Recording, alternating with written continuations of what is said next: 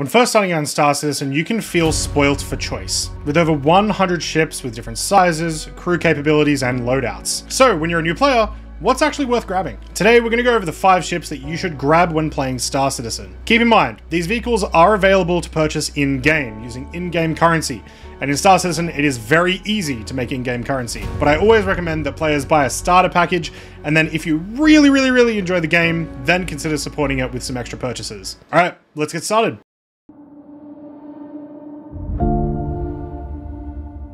As a new player, the most important ship choice you have is what ship you buy first. So, the most optimal play is to get a ship that does a little bit of everything badly. This is the Aegis Avenger Titan. This is a decent small ship for a decent price that can get you from point A to point B, deliver small amounts of cargo, dogfight, and more. With a cool retro space shuttle design, it's also one of the most unique looking ships in the game. The Avenger Titan comes with a size 4 and two size 3 weapon hardpoints, as well as two missile racks, allowing it to have some pretty decent firepower as well, as well as its cargo capacity of 8 SCU, so that you can get your foot in the door for delivery and cargo. What it gains with all of those things, it sacrifices any sort of specialty. It has a little bit of extra armor, but it doesn't really have maneuverability. But vehicles like this are perfect for players when they first want to start playing, so that they can actually figure out what they want to do in Star Citizen. You can buy this one for 50 US dollars or 70 US dollars if you buy this as part of a game package. If you already have a game package though, you can buy this one in-game for a little under 800,000 UEC, which also makes it one of the most affordable ships in the game.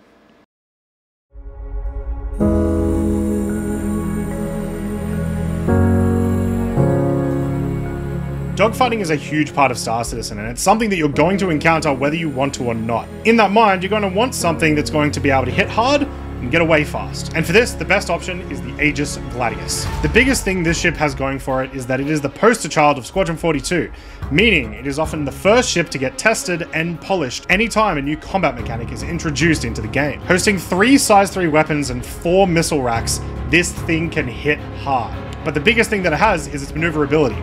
It's a light fighter, this ship is able to get in, strafe your opponents, and get out if necessary. This vehicle, regardless of the patch, often ends up being one of the best, if not the best vehicles in its weight class. This one can be bought for a little over 1 million AUEC, or 90 US dollars. However, when it comes to military vehicles, so we're talking fighters, gunships and whatnot, I wouldn't actually recommend pledging. Military vehicles in Star Citizen have something that we like to call the military tax, where they tend to cost 20 to 30% more than their non-military counterparts. But if you really want to get a light fighter, the Gladius is your bet.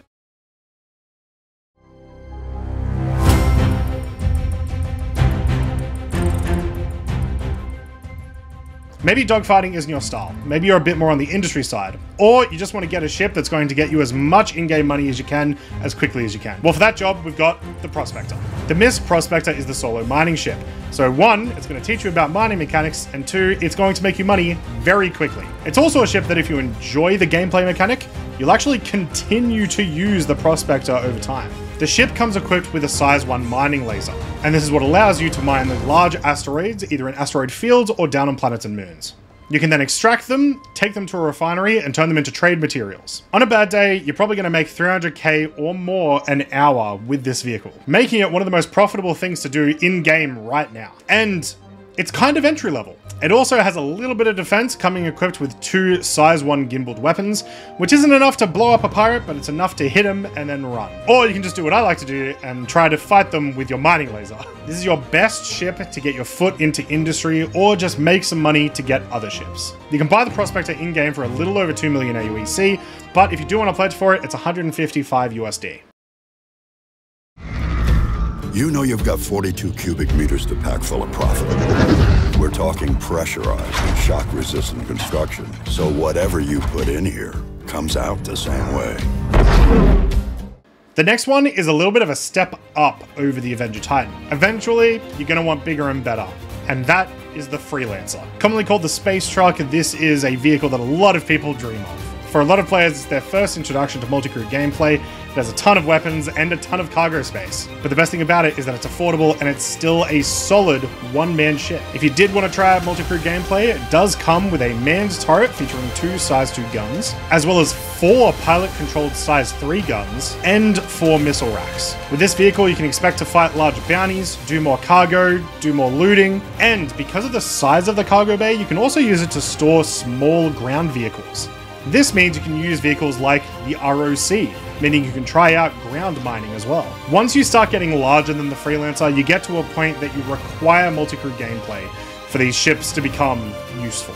You can buy the Freelancer in-game for a little under 1.7 million UEC, or you can pledge it for 110 USD. Before we get into the last ship, I'd like to make a couple of honourable mentions. First, we have the Arrow Light Fighter, which is very similar to the Gladius and for a lot of people is kind of a toss-up between the two. We have the Cutlass Black, which fulfills a very similar role to the Freelancer, but you get a little bit less cargo. If you like the Avenger Titan, but you don't really like the look of it, maybe look at getting the Consolidated Outland Nomad. And if you're looking to get into the racing game, try out the Origin M50. Alright, this one is the most important the ship that every new player in Star Citizen should own, and it should be the first thing that you work towards.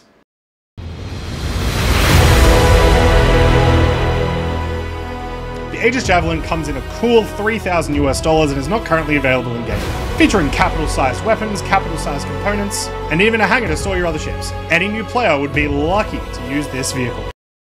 So there you have it. There are the ships that new players should look into when they're looking to play Star Citizen. All of these ships I've mentioned with the exception of the Aegis Javelin, will help you get your foot in the game, get a little bit of AUEC, and learn how to play the game.